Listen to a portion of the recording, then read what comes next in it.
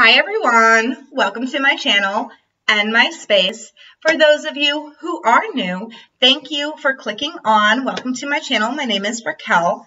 Those of you who are returning, thank you so much for clicking on another one of my Spooky Story Sundays. um, so just like the title, we are going to talk about this woods, this group, this grouping of woods. Now, it sits at Six Mile and Hubbard in Livonia, Michigan. The park is called Rotary Park, and right behind it is a big section of woods. Um, I haven't been there recently, but when I was 15, it was a big section of woods. So I don't know if they cut it down or cut down parts of it. I have no idea. I haven't been there in a very long time. Um, but this section of woods is said to be haunted.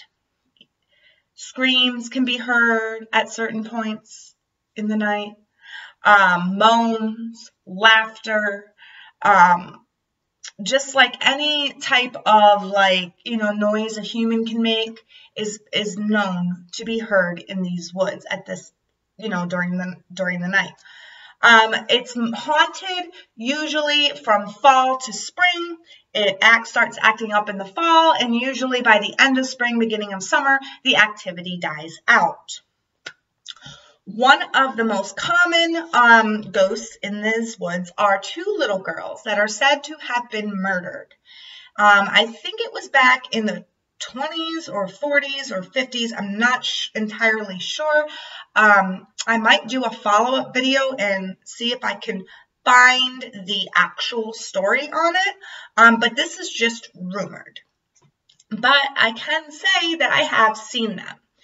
Um, anyways, so I had moved in to a house that was on the other side of the woods and then on the other side of a, of a big main, of a busy main road. My friend, my guy friend, lived, um, not my boyfriend at the time, just my very, very, very good guy friend. He lived on the other side of the woods, on the other side of Six Mile. So, a lot of the times during the summer, because this is when I moved in, um, I would cut through the woods and to go to his house. Instead of taking the long way, which took about 25, 30 minutes, I would cut through the woods and it would take me about 15 minutes. Um, so I did this all summer and I never had a problem, never heard anything, never, you know, felt creeped out about it in the summertime. Never. And I'm that type of person that you can put me in a spot and I can tell you if there's spirits there. Whether they were hiding from me or not, I don't know. If I don't know why the, the spirit activity wouldn't act up in the summer, but it just doesn't.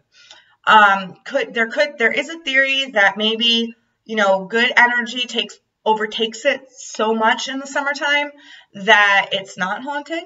That could be something, but anyways, and I am the type of person, and I was when I was younger. I was very brave. I did a lot of things that, pe- that people probably shouldn't do. Um, mainly to impress my friends. I would get the courage to do things. And a lot of the times, you know, even before we moved, we moved to that section of Livonia, there was another section of woods that I used to go in all the time with my friends, and they'd always make me go first, and I'd always go first. But needless to say, I always loved the woods at night. I always loved the woods during the day. And this was like my place to be. Well, the fall time came around and I had two twin best friends that lived in my old, um, that lived in a different neighborhood. And they came over to hang out with me one night. Um, their names, I'm gonna, I'm, I'm changing them for privacy reasons. Maddie and Baby. All right. So, um, anyways, so they came over and we were going to go to my one friend's house, to my guy friend's house. We were going to go there. And um, it was about 11 o'clock at night. And back when I was 15, if you were caught out on the main roads past 12, you would get picked up for curfew. and they would take you to the police station. Well, so we decided, I don't, I don't know why we decided, well, you know, young teens think you can do anything, right? So we decided we're going to take the long way because we had to stop at the gas station. Um, so we took the long way. It was 11 o'clock. We took the long way and we got to um, my friend's house, you know, fairly late, probably close to midnight. And we were hanging out with him. All, all four of us were hanging out. And then we decided that we couldn't sit outside his house and he couldn't have us in because his grandmother was very um didn't like people in the house. So we decided we were going to go back to my house and hang out and chill because my parents weren't home at the time. So we decided that we were going to go back there and we walked towards the park. Now i had the bright idea to walk through the woods. I thought it would be an amazing you know it'd be we wouldn't get picked up by curfew and it'd be awesome so we walked towards the woods and um, my guy friend, you know, he had heard that the woods were haunted, but he didn't believe in that stuff. So he didn't he did not tell us that these woods were haunted. Um so I had no clue about the two little girls dressed in white. I had no clue about that. So we're going up to the um the the trailhead and we're about to go in. And all of a sudden I see two white, two little girls in white going, and my friends didn't see them. And they're going. Now, it has been said that these two twin girls, they're twins, and they were brutally assaulted and murdered. Um, some say they were sexually assaulted and murdered, and it's said that if you get lost in the woods, they will help you find your way out. Um, so the fact that, well, I did not know this. I did not know this at all when I saw them. I heard about this years later. So it kind of clicked in place for me because they were going, it was like they were standing at the trailhead and they were telling me, don't go in, don't go in. So I stop and I go, we can't go in there. And my friend BB's like, what do you mean we can't go in there? We're going to get picked up for curfew. We have to go through there. And I said, and I said, no, I have a feeling we can't go through there because they couldn't see what I was seeing. And I knew they couldn't see what I was seeing. And I felt like, I was like, nope, not going, not going, not going, not going. Well, BB was very adamant that we're going to get picked up by curfew if we take the long way around we're going to get seen by a cop or something like that. And at that point, when a ghost is telling you, no, don't come in, common sense tells you, no, don't go in. So I wasn't going in. I didn't care if I got picked up by the cops. Who cares? I got busted for curfew. What's the worst thing that's going to happen to me? My parents are going to ground me. Oh, well. You know what I mean? I'd rather be grounded than go and lose my life in the woods, you know?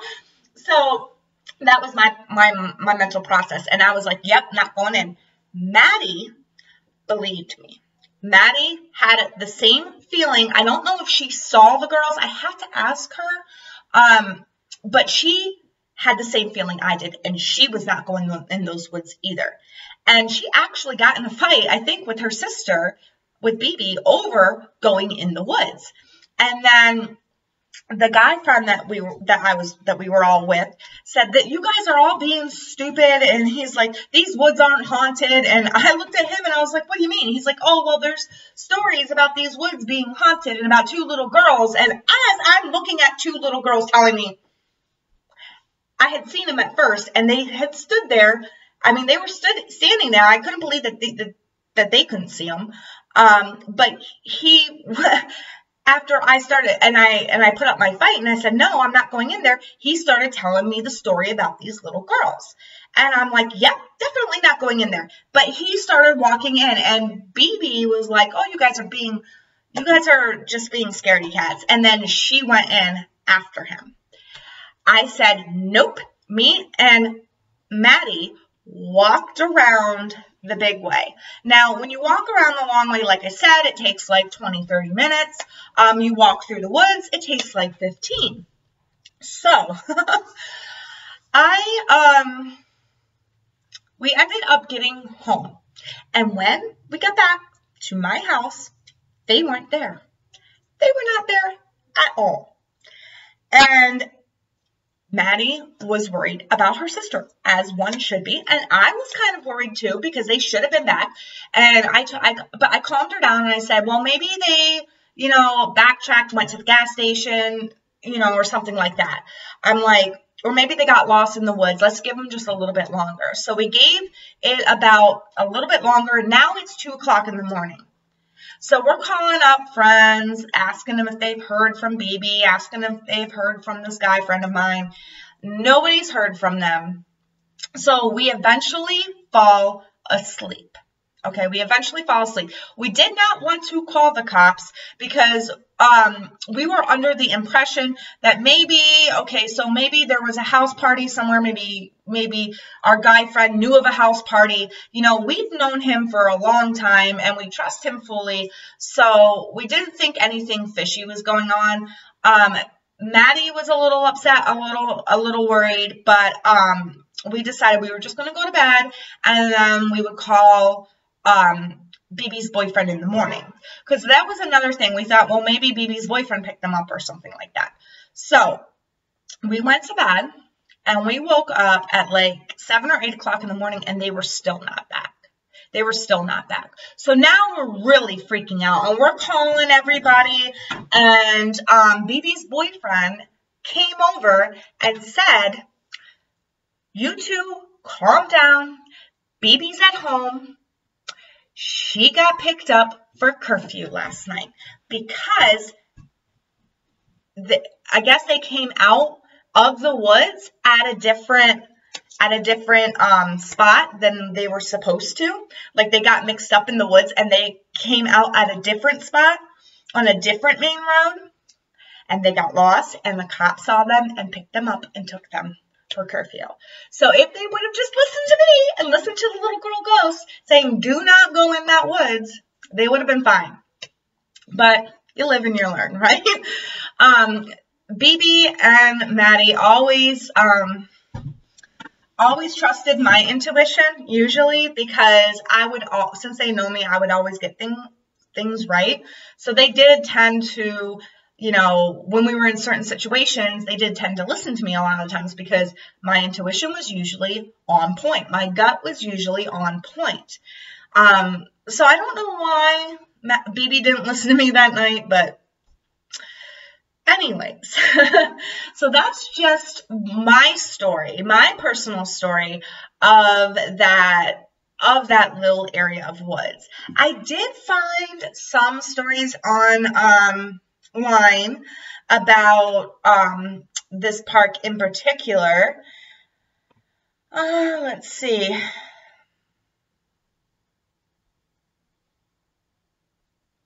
Something about a female teacher. Okay, so there was a female teacher. Supposedly, in this person's recount, there was a female teacher from Livonia that hung herself in the woods, and her spirit still roams the woods there. Um, I'm not sure when this happened because I never got the sense of that when I went near or in those woods. Um, I did go into those woods one time when they were haunted. Um, and I walked right back out. I turned around and walked right back out. But I, you know, I didn't really explore them because um, I did in the summertime and I did notice that it looked a lot different in the fall and the winter. So I can't, I can't, you know, confirm or about this um, woman that hung herself. Let's see what else she got.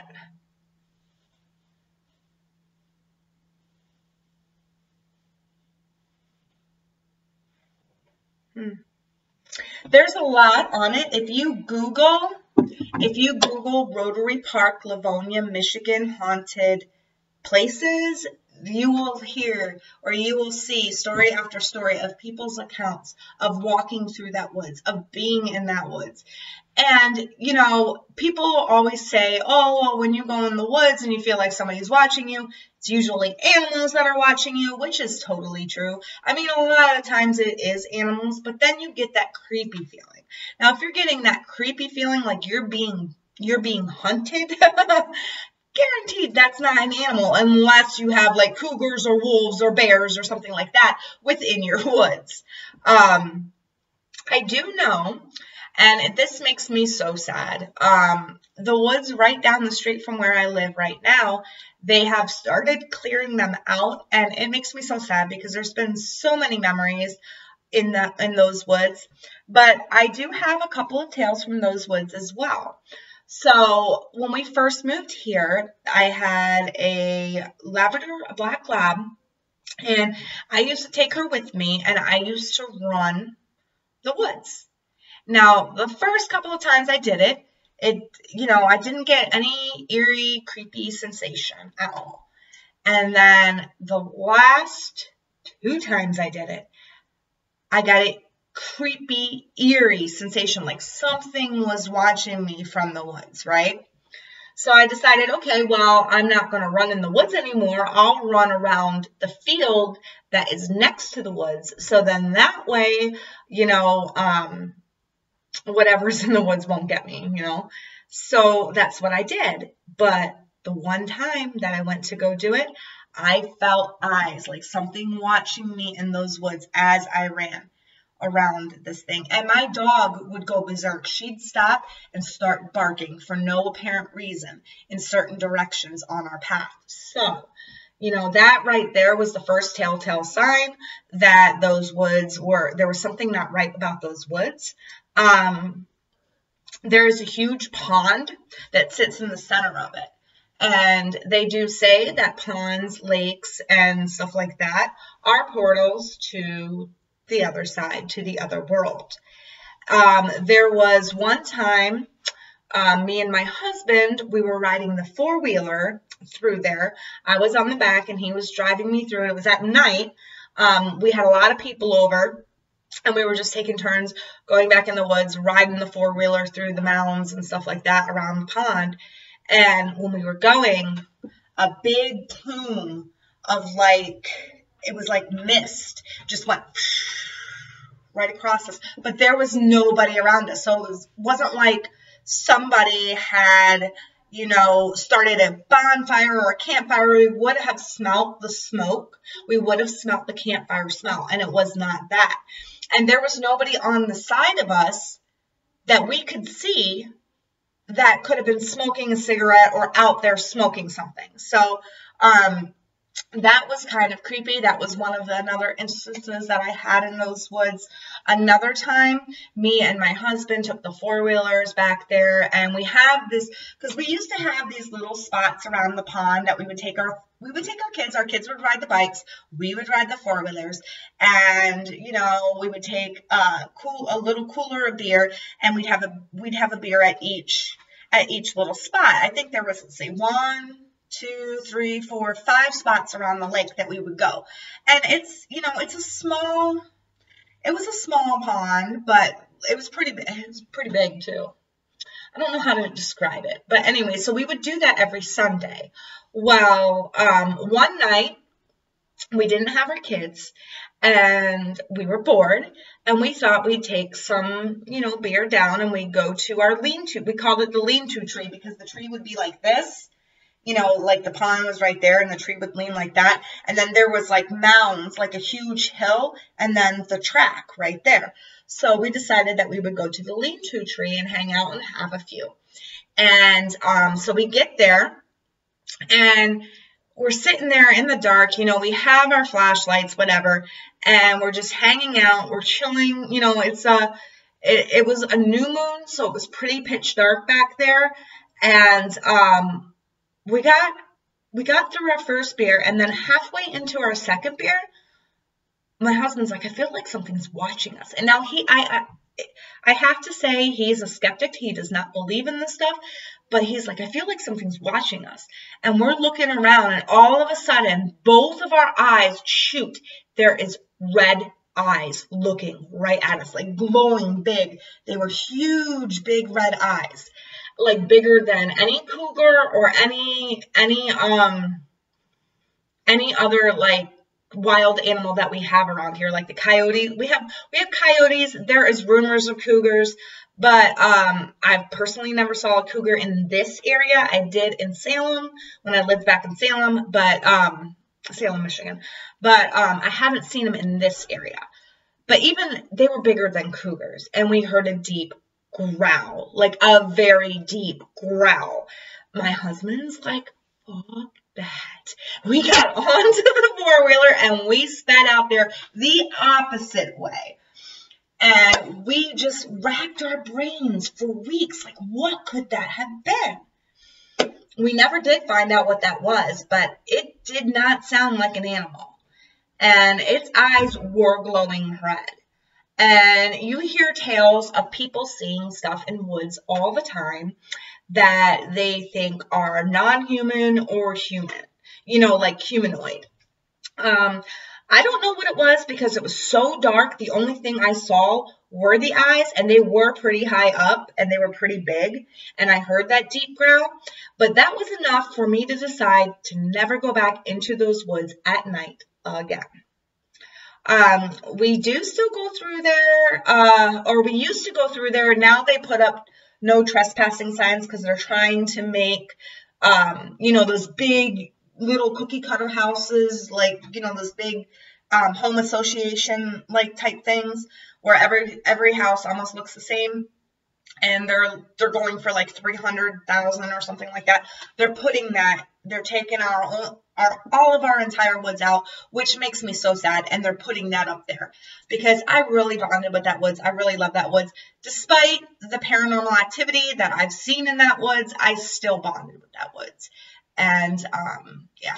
But anyways, so those are some spooky wooded stories from me. And um, if you have any spooky stories that you would like for me to retell on my channel, please um, the all the information to hit me up is in the description box below. Just hit send me an email. You can remain anonymous. I will swap out the name if you need me to. Um, other than that, I hope you enjoyed this Spooky Story Sunday. Please let me know in the comment section below as well if you have any spooky woods, woodsy stories. And what do you think that thing was with the glowing eyes that I saw in the woods? Like, what do you think that was? And do you honestly think that, or not honestly, but do you think that I'm right? Do you think those girls were going, mm-mm, don't come in here because something was going to happen? Maybe they foresaw uh, if we went in there, we'd get busted by curfew. I don't know. Let me know in the comment section below. They were known to lead people out of the woods if people got lost. So that was just, that's just my theory. I'm interested in hearing yours. And until the next time, until next Sunday for Spooky Story Sundays, I hope you all have an amazing week. Be kind to each other, love each other, and I will see you in the next video. Until then, bye.